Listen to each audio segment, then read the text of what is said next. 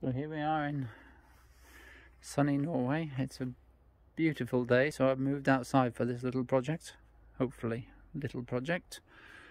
Snow's melting nicely. And here we have my non-disc ready Isis 26 inch Nimbus. So I have no, I have the hub that does not have a disc mount on it. But since I've ended up with these Kris Holm Spirit cranks, which are for the Kris Holms that have the disc mounted on the crank, I decided I'm going to put a disc brake on this by using the Spirit crank and the Nimbus D brake. So, so far I pulled this crank off, it's the 137 117 and I've screwed on a uh, reverse components 180 millimeter disc. Of course it ends up backwards so you don't get to see the writing on the disc because of course with the Kris Holm's system everything goes on what is actually the wrong side for a disc brake so everything ends up sort of backwards. So I screwed that on and screwed that and screwed the disc on. Uh, one word if you're going to do this I spent most time here searching for bolts that fitted and cutting them down because neither the disc nor the cranks came with any bolts. So I didn't have bolts to screw the disc on, so a bit of a mix match, but it'll be just fine. I found something from other projects. And then I got the D-brake on, but, and I've got down here a Shimano MT201 left hand that doesn't really matter I don't think. 1000 millimeters so that's a front brake. Um, disc. Here, see. this is post mount and that is IS I think it's called. So we are missing an adapter.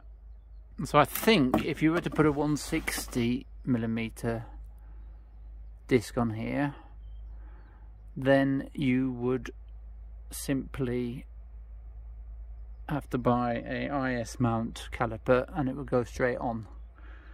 But with the 180 disc and the post mount caliper, we're going to need an adapter. So I'm pretty sure my local shop's got one got to run and get one and then see if we can progress. So my local shop which is Sport N Revetal has come good I hope. It looks right when I measure it up. This is a IS to post mount adapter and it says that it is for rear 180 millimeter. So hopefully I've tried my best to to line it up and put the loosely fit the crank and see that everything fits and it looks pretty good. So I guess I can just break this open and screw it on. Let's see what it looks like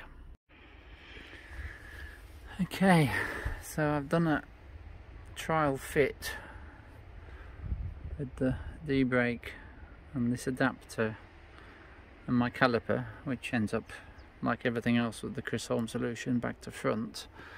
And in terms of in terms of position on the side it's perfect.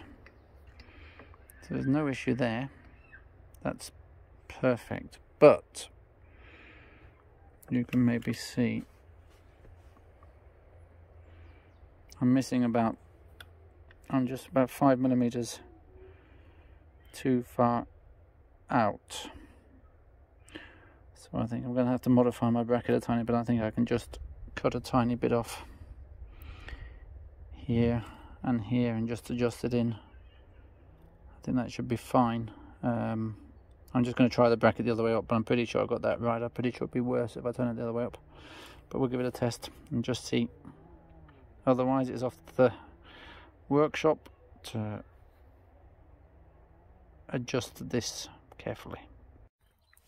So after a bit of careful modification with an angle grinder and a file and the vise, doing my best to keep it all square. I'm happy now that the brake caliper fits. Mm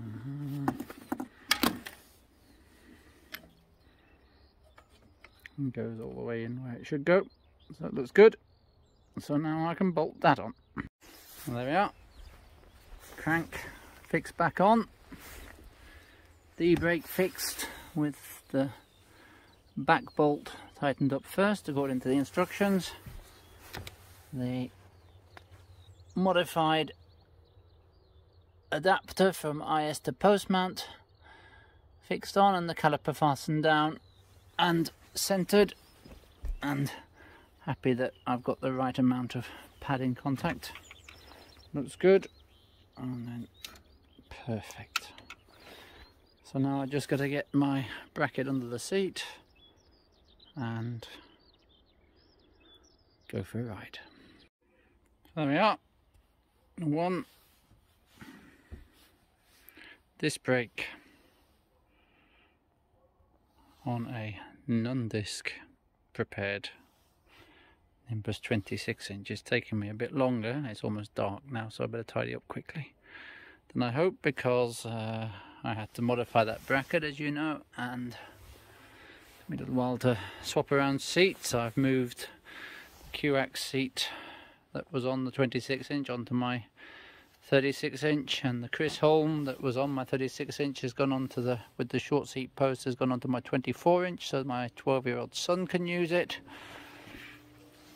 And I've had to swap the seat post and the Nimbus Stadium from the 24 inch has gone on the 26 inch complete with brake handle and a little bracket that comes with it just to fix up the cable there. One meter was plenty of uh, plenty long enough even for people with much longer legs than the seat height it's still plenty. So there we go. Job done. Now it's time to find some steep hills